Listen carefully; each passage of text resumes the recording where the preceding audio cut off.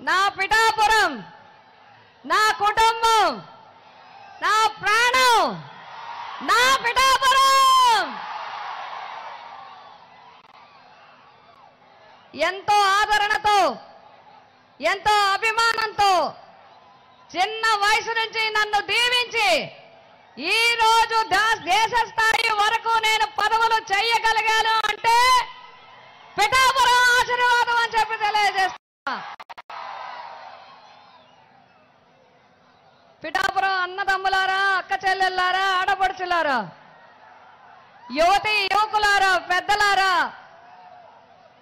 అన్ని వర్గాల వారు అన్ని మతాల వారు అన్ని కులాల వారికి మీ వంగాగీత మరొక్కసారి ప్రణామాలు తెలియజేస్తా ఉంది. నా అదృష్టం మీ అందరి తరపున నా తరపున కూడా వైఎస్ జగన్మోహన్ రెడ్డి గారికి మళ్ళీ నాకు మీకు దగ్గరగా చే పనిచేసే అవకాశాన్ని ఇచ్చినందుకు హృదయపూర్వక ధన్యవాదాలు తెలియజేసుకుంటా ఉన్నాను. పిఠాపురం నియోజకవర్గం. ఇరవై ఒక్క నియోజకవర్గాలు ఉన్నప్పటి నుంచి చాలా చిన్న నియోజకవర్గంగా ఉంటూ వచ్చింది. ఇంచుమించుగా పంతొమ్మిది వందల యాభై రెండు నుంచి రెండు వేల ఇరవై నాలుగు వరకు ఎంతో మంది ఎమ్మెల్యేలను ఎంతో మంది ప్రజాప్రతినిధులు అందించిన నియోజకవర్గం పిఠాపురం నియోజకవర్గం.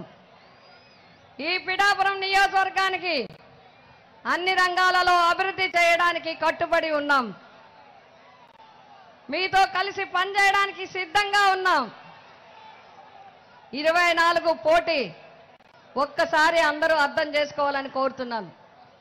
రెండు వేల ఇరవై నాలుగు పోటీ రెండు వేల పంతొమ్మిది తర్వాత ప్రజల జీవితాల్లో వెలుగులొచ్చాయి. పేదల జీవితాల్లో వెలుగులు వచ్చాయి. పేదల జీవితాల్లో గౌరవం వచ్చింది. పేదవాడికి వాయిస్ వచ్చింది. పేదవాడి ఇంటికే పథకం వచ్చింది. పేదవాడి తలుపు కొట్టి పథకం ఇచ్చే పద కార్యక్రమం వచ్చింది. ఇదంతా పెద్ద మనసున్న వ్యక్తి మంచి మనసున్న వ్యక్తి మానవతా దృక్పథంతో ఉన్న వైఎస్ జగన్మోహన్ రెడ్డి గారి వల్ల వచ్చింది. అసలు పేద ప్రజలకి ఆరోగ్యం బాగోపోతే కేవలం ప్రభుత్వ ఆసుపత్రి తప్ప మరో దిక్కు లేదని విధానం.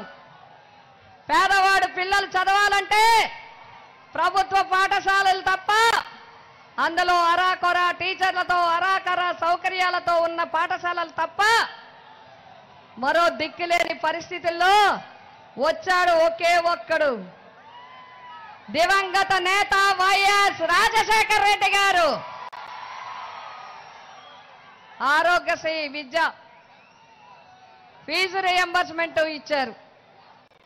ఈరోజు మన సీఎం గారు మళ్ళీ సీఎం మళ్ళీ సీఎం మళ్ళీ సీఎం కాబోయే సీఎం కాబోయే సీఎం. గాలి తిరిగింది హోరు పెరిగింది. జోరు పెరిగింది. వైఎస్ జగన్మోహన్ రెడ్డి గారు మళ్ళీ సీఎం కాబోతున్నారు. ఈ పిఠాపురం నియోజకవర్గ ఎన్నికలకు సంబంధించి నేను కొన్ని విషయాలు మీతో షేర్ చేసుకోవాలనుకుంటున్నాను. మీ అందరికీ చెప్పాలని అనుకుంటున్నాను. ఈ కొద్ది రోజులుగా ఈ ప్రసార కార్యక్రమంలో జరుగుతున్న వివరాలు మీ అందరికీ వివరించాలని అనుకుంటున్నాను. మొట్టమొదటిగా నా గురించి మీ అందరికీ తెలుసు. నా గురించి మీకు తెలుసు. వంగ గీత గురించి మీకు తెలుసు. వంగ గీత అంటే అందుబాటులో ఉండే వ్యక్తి. అందరితో ఉండే వ్యక్తి. ఎప్పుడు పిలిస్తే అప్పుడు వచ్చే వ్యక్తి. ఎప్పుడైనా అందుబాటులో ఉండే వ్యక్తి. మీ ఏ కార్యక్రమం ఉన్నా కూడా పిఠాపురం ప్రజలకి నిరంతరం మీకు సేవ చేసుకునే వ్యక్తి. అదేవిధంగా ఈరోజు మనకి పోటీ ఏర్పడింది. రాష్ట్రం యావత్తు ఇక్కడ దృష్టి సారించే విధంగా జరుగుతున్నది. అందరూ అనేక విషయాలు చెప్తున్నారు. అనేక విషయాలు ప్రస్తావిస్తున్నారు. మొదటి నుంచి నిన్నటి వరకు కూడా చాలా విషయాలు చెప్పారు. చాలా విషయాలు ప్రస్తావించారు. చాలా విషయాలు తెలియజేయడం జరిగింది. ముందు నేను వాటి జోలికి పోవటం లేదు. నేను ఏం చేస్తానో చెప్పాలి కదా. నేను ఏం చేయగలనో చెప్పాలి కదా. నేను మీకు ఏం చేస్తానో చెప్పాలి కదా. ఆ భగవంతుడు నాకు ఆయుష్ ఇవ్వాలి కానీ ఆఖరి ఊపిరి వరకు పిఠాపురం గురించి పనిచేస్తానని చెప్పి మీ అందరికీ తెలియజేస్తా ఉన్నా. మీకోసం పనిచేస్తాను మన కుటుంబం కోసం పనిచేస్తానని చెప్పి నేను తెలియజేస్తా ఉన్నాను. మనకి చాలా కొన్ని సమస్యలు ఉన్నాయి ప్రధానమైన సమస్య ఏలేరు సమస్య. ఏలేరు సమస్యని పరిష్కారం కాకపోవడానికి కారణాలేంటో ఇప్పుడు చెప్పాల్సిన అవసరం లేదు. దానికి సమయం వస్తుంది. ఆ జీవోలు ఎలా ఎలా మారి ఎలా ఎలా అయ్యాయో వివరించే టైం వస్తుంది. అప్పుడు వివరిస్తాం. కానీ నేను ప్రజానీకానికి పిఠాపురం ప్రజలకి పిఠాపురం రైతులకి ఒకే ఒక్క మాట ఇస్తున్నాను నేను. మా జగన్మోహన్ రెడ్డి గారి యొక్క అనుమతితో తప్పకుండా. మళ్ళీ జగన్మోహన్ రెడ్డి గారు ముఖ్యమంత్రిగా అయిన వెంటనే పేదడు మేనర్లో ఏలేరు ఎత్తి వదల పథక ఆధునీకరణకి తప్పనిసరిగా చర్యలు తీసుకునేలాగా నేను ఎంపీ గారు కృషి చేస్తామని చెప్పి తెలియజేస్తున్నాం. అదేవిధంగా మాకు మత్స్యకార సోదరులందరూ ఉన్నారు. మీ అందరికీ కూడా నేను తెలియజేస్తా ఉన్నాను. ఉప్పాడ కోనపాపపేట సముద్ర కోత తీర ప్రాంత నివారణ కోసం మేము చాలా కృషి చేశాం. ఆల్రెడీ కేంద్ర ప్రభుత్వం నుంచి రాష్ట్ర ప్రభుత్వం వరకు ప్రాజెక్టులు పెట్టాం. తొందరలోనే వాటిని కూడా మేమిద్దరం కలిసి తప్పకుండా పరిష్కారం చేస్తామని చెప్పి మీ అందరికీ తెలియజేస్తా ఉన్నాం. ఈ పిఠాపురం నియోజకవర్గంలో చాలా మంది చెప్తున్నారు. ఏం చేశారు మీరు? ఏం చేశారండి? అని అడుగుతున్నారు. ఏం చేయలేదో చెప్పండి.